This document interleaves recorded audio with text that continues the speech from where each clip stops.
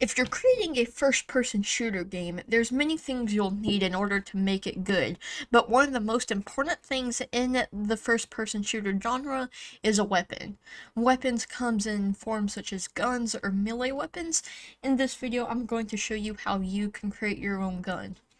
Alright, so in Unity, there's two ways to create a weapon.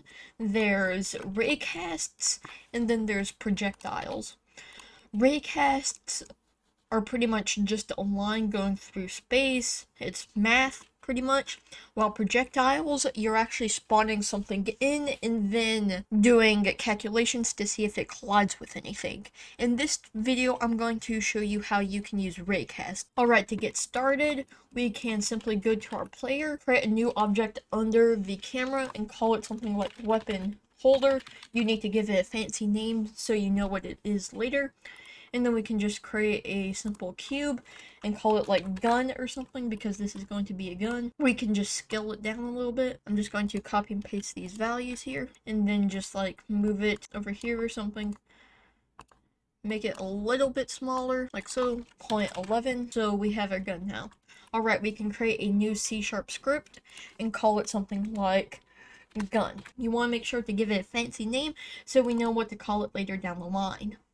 Alright, Visual Studio Code is opening on my other monitor, and once you launch Visual Studio Code, you should see something like this. Alright, we need to import something, but this is this only needs to be imported if you want our weapon to show the ammo on the screen. So we can do using Unity Engine, not Unity Editor, Unity Engine UI.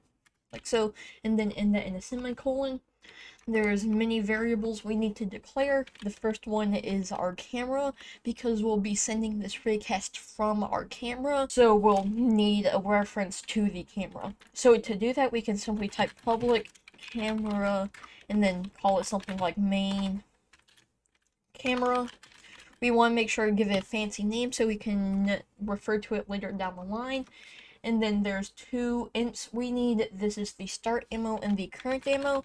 So public int start ammo, and then public int current ammo. Like so. And then we can make another float and call it the fire delay. Public float fire delay like so. And then we can create another float. This is called the next time to fire. This will be a private float because we don't need any other script to access it. So we can just create that real quickly. Call it something like next time to fire. Real simple name. And there's another float we need to create, and this is the range variable. So if you're playing a game like Call of Duty, many weapons have ranges on them, and it, if the enemy is outside that range, it won't do any damage. So this is what this variable is. Alright, we need a reference to the UI text. We'll create that later and just call it something like ammo text. And then we need a boolean and says is reloading. This is just a simple check to see if the weapon is currently in a reloading state. So you can type in public bool is reloading, like so. And then we also need the public float reload time. So in many games like Call of Duty and Half-Life, when you're reloading a gun, there it doesn't always reload instantly. There's always a wait time. So this is pretty much what this float is. Alright, and in our start, we can say current ammo is equal to the start ammo, like so. And then in our update function, we need to do a check if is reloading is equal to true. We want to return. This will prevent the script from running while it's reloading. This will essentially allow us to not shoot while it's in the middle of a reloading state. And then we need another if statement and say if input dot get mouse button down. No, just get mouse button, and then we can say zero, and then and and time dot time is less than the next time to fire, and we can say next time to fire is equal to the time dot time plus the fire delay and then we also need to call a shoot function. We will create this one later. Visual Studio is autofilling it, creating some errors, but we'll fix it later once we create the function. Alright, so we can create the shoot function now by typing in public void shoot in case you want another script to access it, or otherwise you could use private void shoot. Alright, we can finally open close parentheses for those. And in our shoot function, we want to create pretty much a raycast hit variable so we can actually get information from the object that the raycast hit. We can do this by typing in raycast hit and then just calling it something like hit. And we can say if physics dot raycast and then we can say main camera dot transform dot position. This will essentially tell it to tell the raycast to start from the main camera's position. And then we also need the main camera, main camera dot transform dot transform direction and then do vector 3 dot forward this will essentially tell it to send the raycast out in front of the camera. So, because we don't want to be shooting the enemies from behind, we don't want we want to be able to see them. So that's what we use the vector 3 dot forward for. And then there's one more, and then we need to do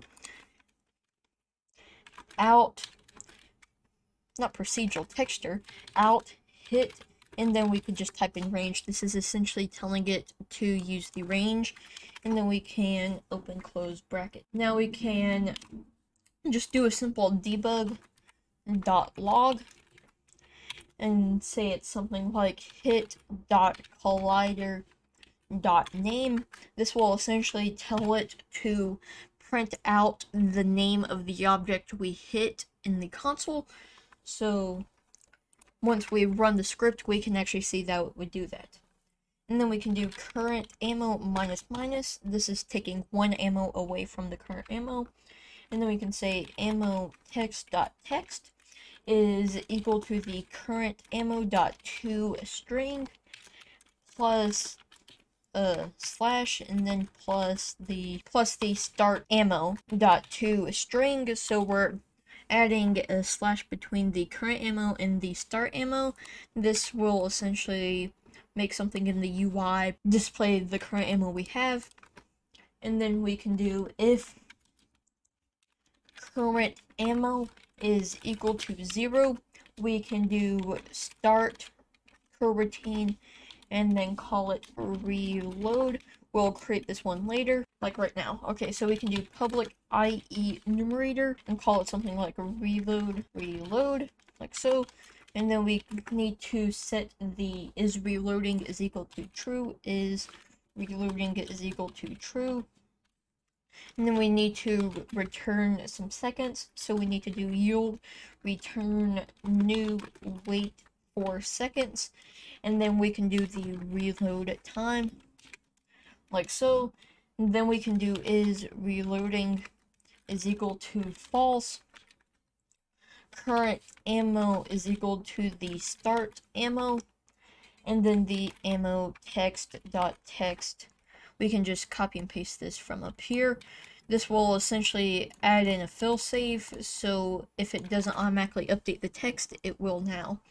And then we can actually assign this the correct function name like so and then we can go back into Unity, let Unity compile it, and then we can assign all the variables we need. So we can assign the main camera variable to the camera.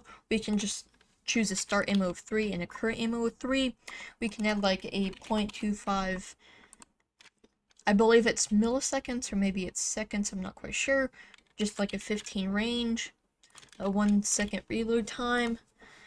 And we'll actually need to create this text so we can come up here, right click, and click on UI and then text and just call this something like ammo text like so.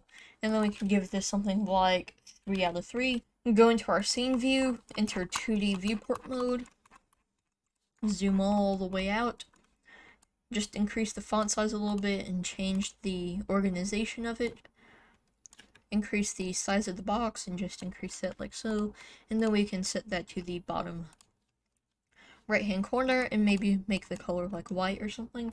And then come back down to our ammo text and assign that. And then once we press play, everything should be working. And it is working. We can see that it's printing out the ground variable in our console. It reloads so once we've depleted the magazine and the fire delay is working. So if you found this video informative, be sure to leave a like and subscribe. It always helps out the channel and helps get content like this recommended to others. Fun Noober out.